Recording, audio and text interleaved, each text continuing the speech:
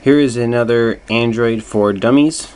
Um, today I'm going to show you guys um, how to set data usage and data limiting for those of you with a 2 gig or 4 gig data plan.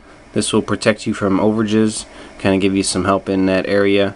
If you have unlimited, unlimited data, never mind but uh, like I do I actually have unlimited which is really really nice. I'm glad I got in there when I did.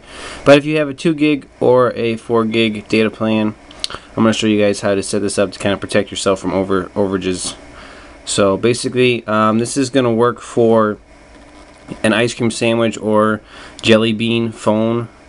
Um, they're going to have this application there. So let's go into our app drawer and we're going to go over to settings and click on it and then you can see right here where it says data usage. We're going to click on that. Alright so right here's a toggle where you can toggle data mobile data on and off. And then you have set mobile limit. Right here's a graph that shows you how much data you've used. And then down here it tells you actually what data you used right there. There's a, a number. Mine right now is 383 megabytes in the last like five days. So not a lot for me right now. Um, so here's a couple things you can do. First of all you can go online and find out what your billing cycle is. And you can hit this and you can change your billing cycle so that if your cycle's on you know the 23rd to the 23rd or whatever you can uh, put the billing cycle in there so that this thing tracks. So here you can change it. So that this thing tracks um, in the right times for you so, if you want to put in a mobile limit, what you can do is you can here hit right here. It says set mobile data limit. So we're going to click that, and then you're just going to say that it'll disable your data when you've reached your limit. So we're going to click it. So on this graph right now, I have a warning at 2 gigs, and at 5 gigs, 5 gigs, it shuts it off shuts off your data so you don't go overage. But you can adjust it.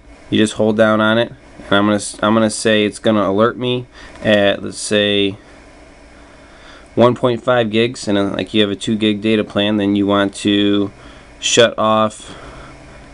Let's see if I can get it down there at you know 1.8 gigs, just to make sure you don't go over.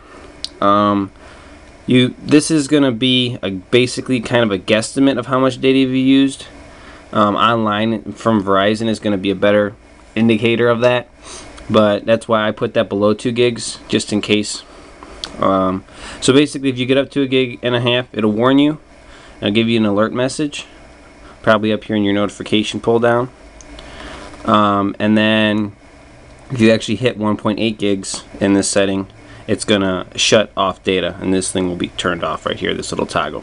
So mobile data will be shut off. That's basically how it works. Um, if you have you know like a 4 gig plan you could bring this up.